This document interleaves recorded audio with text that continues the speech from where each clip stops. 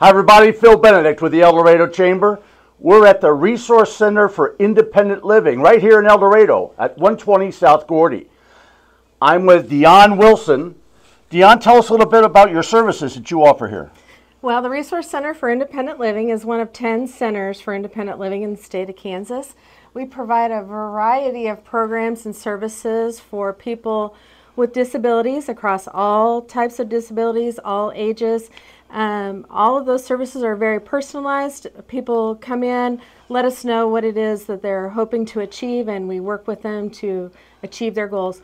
We also have a really great durable medical equipment loan program. Several hundred local people uh, each year borrow equipment from this office wheelchairs, walkers, bathroom equipment, things like that.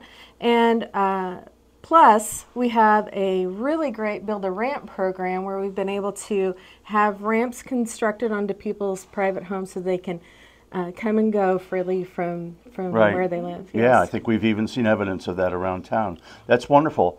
Are you ready to cut this ribbon and get this party started? Let's do it. We're so honored to have Senator Mike Fagg with us. So, Yes, we are. So that's great that he's here. Be careful.